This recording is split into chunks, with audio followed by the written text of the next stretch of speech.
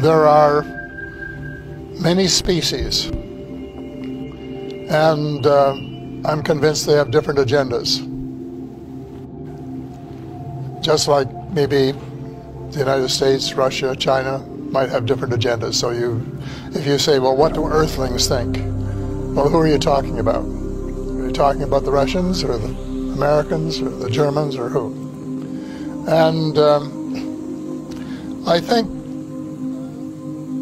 there have been face-to-face meetings, probably with species who look very much like humans.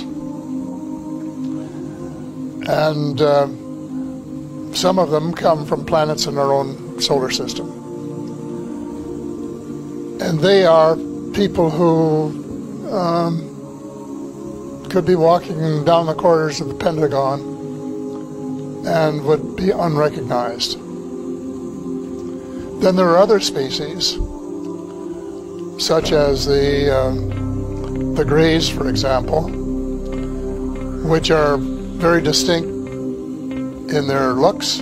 They're short, they have very large heads, very long arms, and uh, very big eyes. And they're more like the ones that we usually see in the cartoons of extraterrestrials.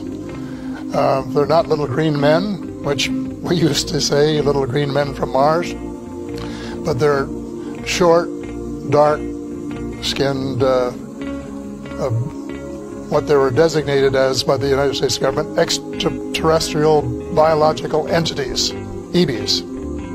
So the EBEs, uh, that group of them, look very different.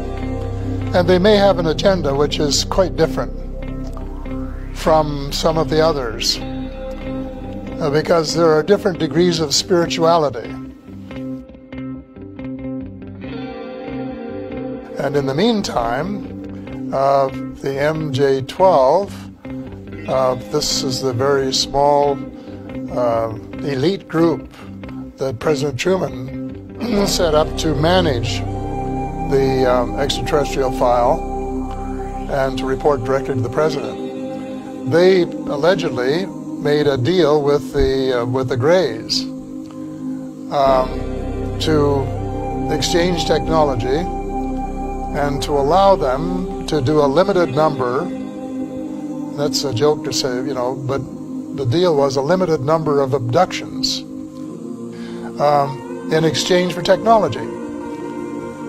And that as a result of this arrangement, um, over the years, the United States has uh, managed to what we call back engineer or replicate uh, the extraterrestrial technology, both on the weapons side and on the transportation side, to the point where Dr. Steven Greer, the witnesses, said about the flying saucers, you can't tell whether it's one of theirs or one of ours because they look so much alike.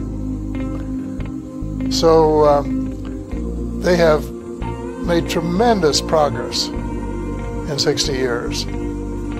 And uh, they have developed very powerful weapons, far power, more powerful than anything they had before. And they have, uh, according to Ben Rich, who was the former head of the uh, Lockheed Skunk Works, which was working on these kinds of uh, of vehicles. They now have, as he said, uh, quote, the capability of taking ET home. And so uh, when you say uh, happiness, I think you have to then say happiness between whom and by whom, uh, because uh, there's no carte blanche uh, single answer uh, to that question.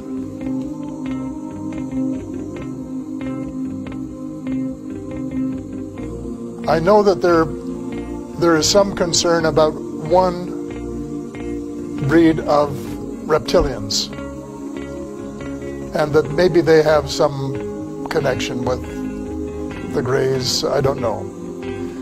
But again, you can't, it's not carte blanche because there are many, there are branches of the reptilians.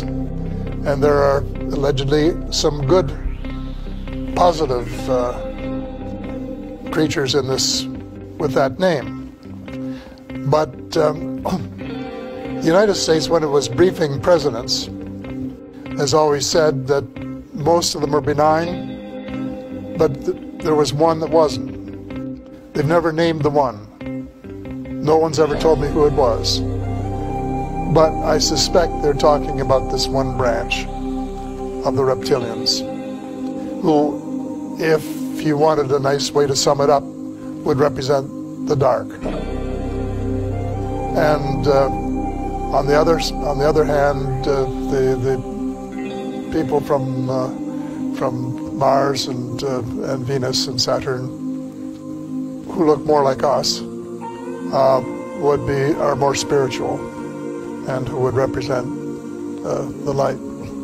So it's not an easy question.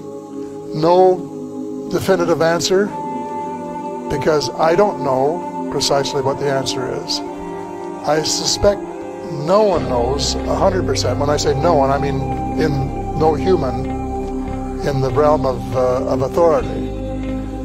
But there are certainly people in the United States cabal who have more information about this subject than any of the rest of us because they have been collecting it assiduously for years and years, and they have probably had more contact with different groups uh, over a longer period than just about anybody else. So they're, they have a lot to disclose when we can get them to disclose it. But disclosure is essential. The information is there.